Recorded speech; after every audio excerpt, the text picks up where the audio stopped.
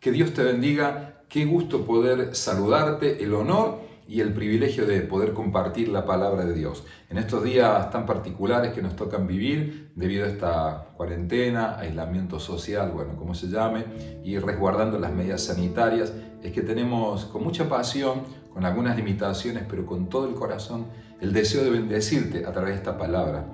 Eh, palabra que creo que tiene mucha relevancia para los tiempos y los momentos que nos toca vivir. Eh, voy a situar la escritura en el momento de la Biblia en el primer libro de Reyes, capítulo 19, y leeré el verso 1 al 5.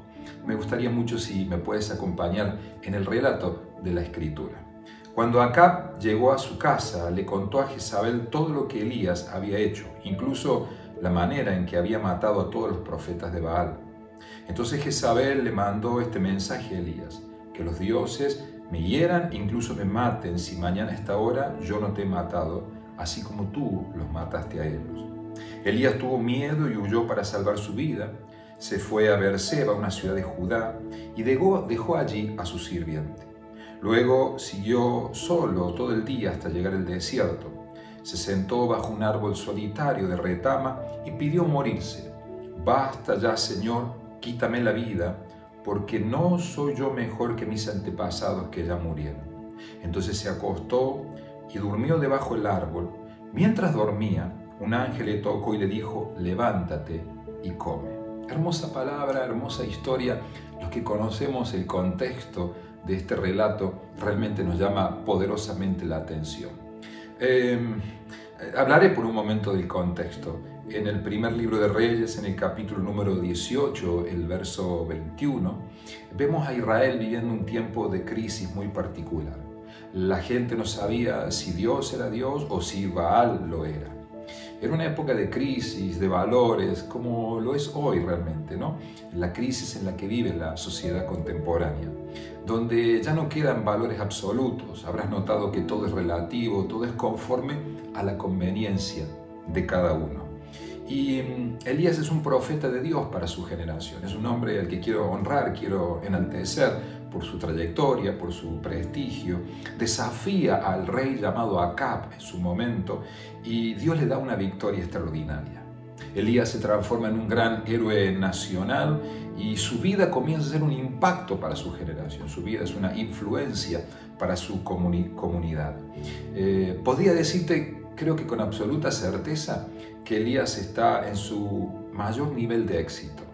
Y Jezabel, una mujer mala, perdón, la expresión sería perversa, la esposa del rey Acab, le dice a Elías, en represalia al accionar del profeta de Dios, Elías, yo te voy a, a matar. En otras palabras, lo amenaza, lo intimida, creo que esa es la palabra correcta, lo intimida, lo amenaza. ¿no? Extrañamente, es difícil de explicar para un predicador como en este caso, eh, ¿cómo explicarte que un hombre que está lleno de fe, que ha producido portentos, milagros, él oraba y cosas sucedían, acababa de enfrentar a, a un grupo muy importante de profetas paganos, él solo, y Dios le dio una victoria grande, no mostró temor, no mostró duda, nunca mostró incertidumbre, sin embargo, en este momento, producto de la amenaza de Jezabel, su corazón se llena de temor. Notemos que Elías venía caminando bien, venía con la actitud correcta, hasta que escucha una voz equivocada. Y todo comenzó de pronto a ponerse muy mal. No sé si a vos te pasó, quisiera generar un poquito de empatía contigo, pero hay momentos así en la vida, ¿no? Donde enfrentamos los deseos más oscuros, donde llevamos en el corazón las presiones más insostenibles que nos detienen, nos postergan. Quisiera hablarle a todas las personas que tienen la gentileza de ver esta imagen y escuchar este mensaje que a veces enfrentamos esas presiones tan intensas que nadie sabe, ni siquiera la almohada donde depositamos la cabeza. Y esas presiones internas, esos deseos ocultos que son oscuros muchas veces que hasta a nosotros mismos nos sorprenden que esas cosas hayan pasado por nuestro corazón y la hayamos de alguna manera visionado en nuestra mente como una posibilidad de llevarlo adelante. De pronto Elías comienza, producto de esta amenaza, a desarrollar un lento, lento pero efectivo proceso que lo lleva hacia un intento de muerte. Es extraño explicar esto, pero porque un hombre lleno de fe, de esperanza, pero es la, amenaza de una mujer a la distancia, sería como un WhatsApp contemporáneo, ¿no? Le envía una notita, le envía un mensajito, y dice, te voy a matar. Y eso fue suficiente para postergar a un hombre de fe. Eso fue suficiente para detener a un hombre que estaba lleno de Dios, que era una voz para su generación. Y quiero detenerme un momento en las actitudes que empieza a asumir Elías, que creo que tienen mucha vigencia hoy. Es un relato muy, antiguo, ¿verdad? Pero ¿cuánta vigencia tiene en el hoy, en el presente? Cuando Elías escucha esa voz equivocada, escucha la intimidación, escucha la amenaza, lo primero que produce es que se queda solo. Escoge el quedarse solo. Luego se va por allí y se sienta. Luego se queda dormido y como una cuarta etapa donde llega, desea quitarse la vida. ¿Sí? ¿Me escuchaste bien? El hombre de Dios, el que era un ejemplo de su generación, el que generaba fe, el que llevaba los proyectos de Dios en el corazón, de pronto se queda solo, se sienta, se queda dormido y desea quitarse la vida. Mire, leamos la oración nuevamente, o lo que Él le dice a Dios, o lo que Él le dice, vaya a saber a qué cosa. Basta, basta, Señor, quítame la vida. Es muy extraño de explicarlo. Es muy fuerte lo que la intimidación genera en la gente. Cuando uno escucha las amenazas del contexto que nos rodea, es probable que gente que me esté escuchando hoy se sienta así, agobiada por las presiones, intimidado por las circunstancias que te rodean. A ver, no voy a restarle valor a lo que vivimos de ninguna manera. Estamos preocupados, hay incertidumbre. ¿Cómo sigue esto? ¿Cómo se sale de la pandemia? ¿Cómo, cómo se reacciona ante semejante presión económica, pero afectiva, ¿verdad? Eh, tantas cosas que nos pasan en nuestro mundo interior, que parece que nuestros sueños se van a postergar para siempre. Eso intimida, paraliza. Es la misma sensación que tiene eh, Elías cuando escucha esa voz equivocada. Y yo quisiera detener ese proceso, si pudiera entrar a la historia, quisiera detener el proceso de Elías y decirle, amigo, por favor no te sientes por favor no te duermas, por favor no intentes quitarte la vida. Pero de la misma manera quisiera dirigir mi palabra a vos para decirte que, que no te sientes, que no te duermas, que hay cosas para hacer, que hay objetivos para alcanzar aún. Volvamos al relato, es una escalera descendente, ¿no? Se quedó solo, se sentó, se quedó dormido y deseó quitarse la vida una palabra de reflexión para vos de lo profundo de mi corazón y espero tener la gracia suficiente para alcanzar tu vida y tu corazón hoy. Por favor, no te quedes solo. Busca ayuda. Sobre todo busca la ayuda de Dios, del Dios fiel que no falla, del Dios que ha prometido estar con nosotros. Y también busca la ayuda de buena gente, esa buena gente que te, que te animará. No los cómplices, ¿eh? hablo de los amigos. Esa gente que será una plataforma de bendición para tu vida. Y hablando de, esto de quedarse solo, por favor, no te quedes solo. Eh, ama tu iglesia. Busca tus pastores, busca tu, tu grupo de desarrollo. Vuelve a recuperar la fe. No, no escuches la voz equivocada, no vale la pena, no te conviene. Búscalo a Dios y busca a tu gente. Vuelve a tu casa, vuelve a tu iglesia. Conectate. Sé fiel a la visión que Dios te dio. Sabes, Él se sienta. Yo quisiera pedirte, claro, sentarse es una actitud natural cuando estamos cansados, pero vivir la vida sentada no es correcto. Levántese, por favor. Levántese a vivir los mejores días que Dios tiene para su vida. Hoy ruego al Señor que me añada gracia para compartirte esta expresión de lo profundo de mi corazón, para que te levantes a vivir los mejores días que Dios tiene para tu vida. Es posible, no es que sea uno optimista por naturaleza, procuro serlo, pero fundado en la palabra de Dios tengo la expectativa de creer que lo mejor viene de camino cuando le creemos a Dios por un milagro. Dice la Biblia que Él se terminó durmiendo. Señores, insisto, dormir es saludable, pero mm, dormir más de la cuenta te hace improductivo. Y este hombre, producto de la frustración, se duerme. Hay motivos para seguir despiertos, señores.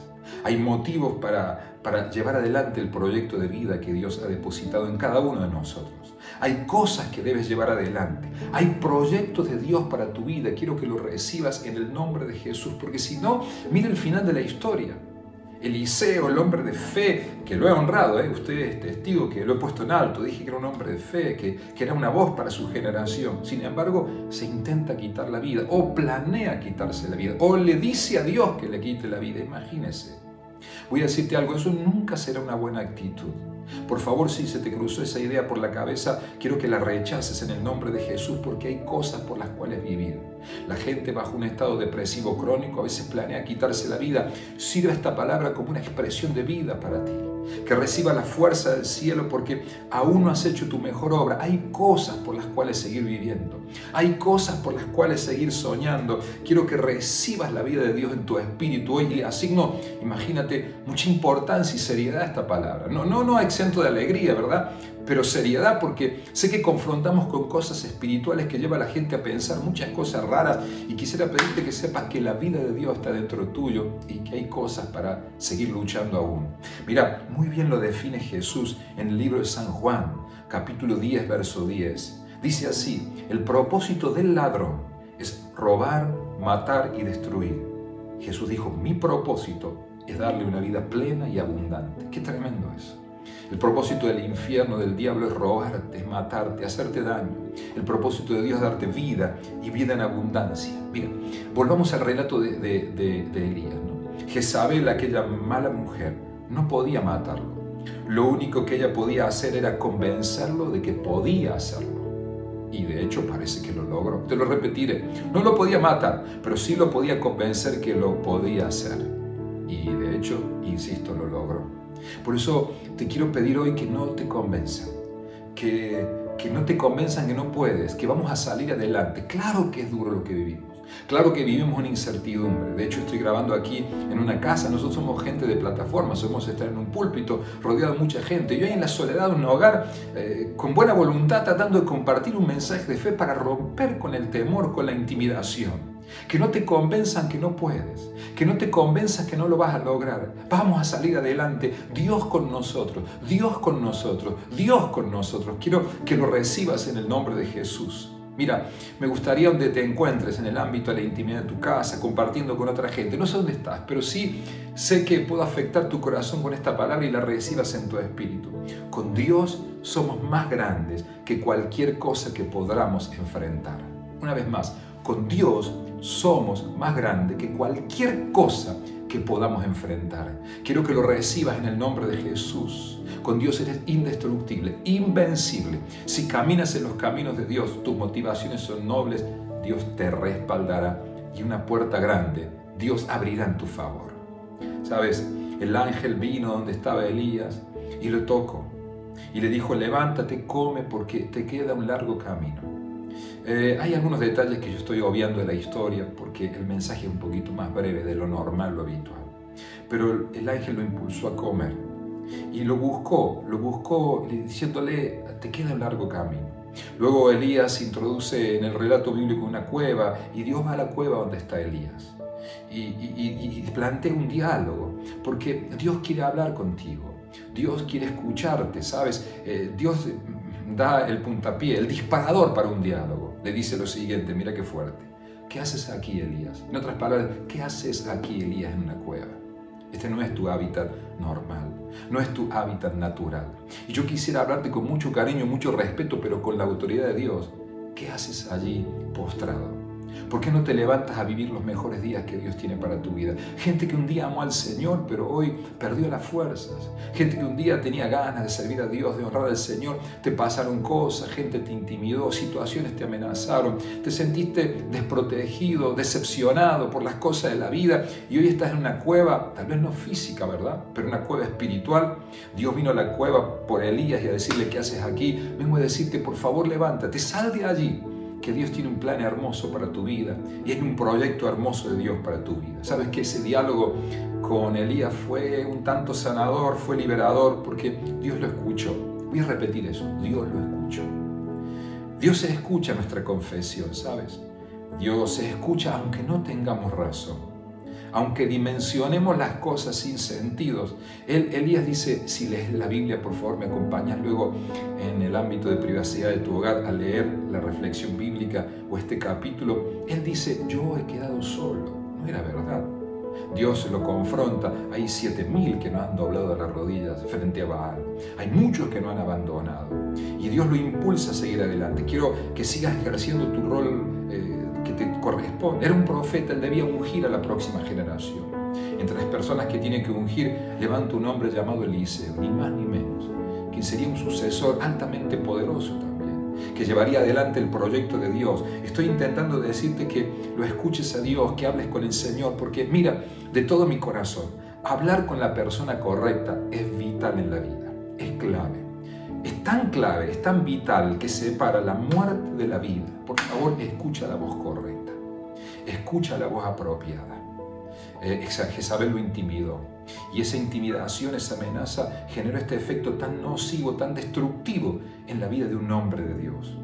Pero la palabra de Dios fue sal fuera, ponte de pie, sal de esa cueva, porque aún no has hecho tu mejor obra, aún falta llamar, por ejemplo, a Eliseo.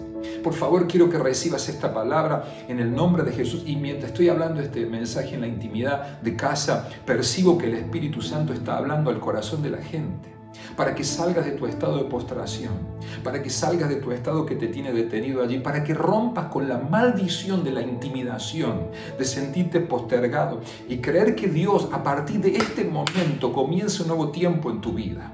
Sé que las circunstancias que nos rodean no son sencillas, pero el Dios de la gloria ha prometido estar con nosotros. Él nos impulsa a dejar nuestras cargas, nuestras preocupaciones en sus manos, que Él cuidaría de nosotros. Te lo voy a repetir. Él cuidaría de nosotros. Vamos, vamos. Dios está de nuestra parte. Un milagro puede hacer Dios. Una puerta grande Dios puede abrir en tu favor. Quiero que lo recibas por la fe en el nombre de Jesús. Señores, hay algo que quiero decirte hay algo más del otro lado. Hay una puerta que Dios va a abrir. Es por eso que el enemigo a veces en etapa de la vida envía tormentas para interrumpir tu alegría, tu paz, tu consagración, porque del otro lado hay algo que, maravilloso que Dios está a punto de hacer. Déjenme por un momento terminar este pensamiento para hablar acerca de la fe. Dos o tres minutos, dos o tres conceptos muy sencillos. Lo primero, la fe. Diga conmigo fe. Fe. La fe. La fe agrada a Dios, ¿sabes? La fe honra al Señor. La fe te abre la puerta a lo sobrenatural. Mira, eh, obedecer cuando vemos que habrá un final favorable, eso no es obediencia. Se llamará de cualquier manera, pero no es obediencia. Porque la fe encierra ese cierto grado de temor, de inseguridad, la convicción de que Dios lo va a hacer, pero que no sabemos cómo. El tema es que cuando intentamos vivir con un evangelio intelectual, cuando intentamos vivir solo con un evangelio mental, siempre estaremos en riesgo de crear un Dios que se parezca a nosotros, que sea de nuestro tamaño. Tengas cuidado en querer encasillar a Dios dentro de tus estructuras mentales. Señores, voy a decirte algo después de algunos años de servir a Dios y de algunos años vividos. Vivir con preguntas en la vida, o mejor dicho, vivir con preguntas sin respuestas, muchas veces nos conduce al rechazo de lo que Dios nos ha dado, del ministerio que tenemos que desarrollar, de la labor que tenemos que cumplir. Tener preguntas sin respuesta a veces nos lleva a rechazar cosas que Dios nos da. Ejemplo, esto no me cierra, mm, hay que ver cómo da, no me da la ecuación, a ver.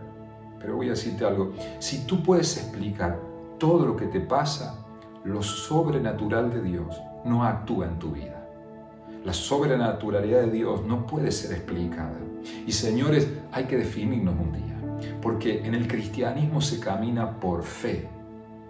Y voy a decirte algo, el Señor no está a prueba, sino que somos nosotros los que lo estamos.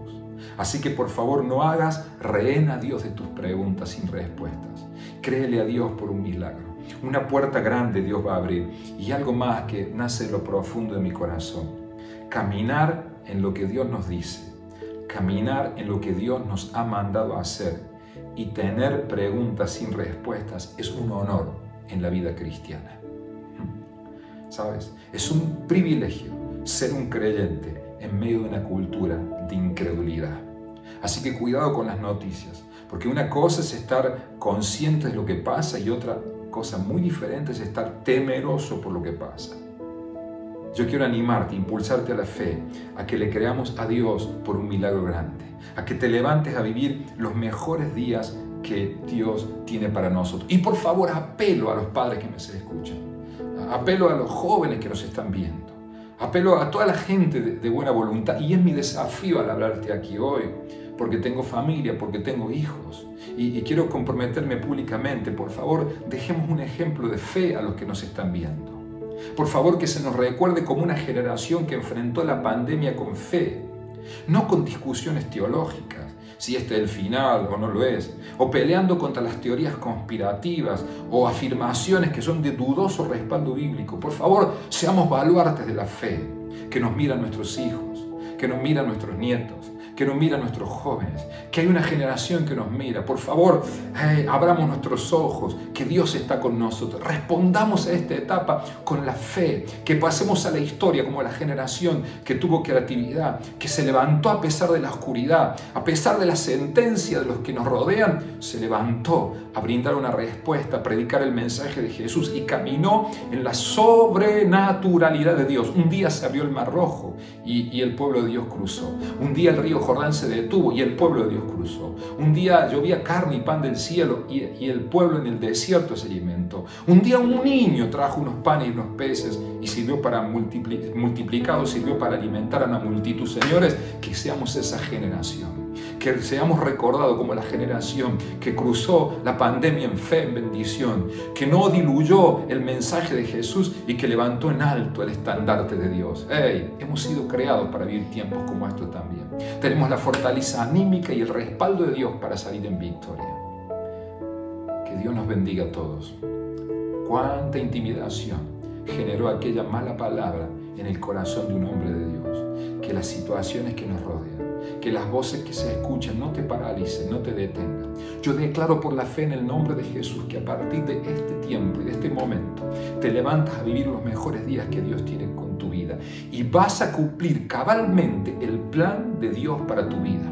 Si te caíste, si estás vencido, si llevas tiempo no congregarte, si ya no tienes gozo para servir al Señor, declaro por la fe que el Espíritu Santo ministra tu vida y a partir de hoy comienzas a vivir los mejores días que Dios tiene para tu vida. Recuerda a Jesús, no puedo terminar sin hablar de Jesús. Yo he venido para que tengan vida y la tengan en abundancia. Que Dios te bendiga, que Dios te bendiga, que Dios te bendiga. La paz de Dios para todos ustedes.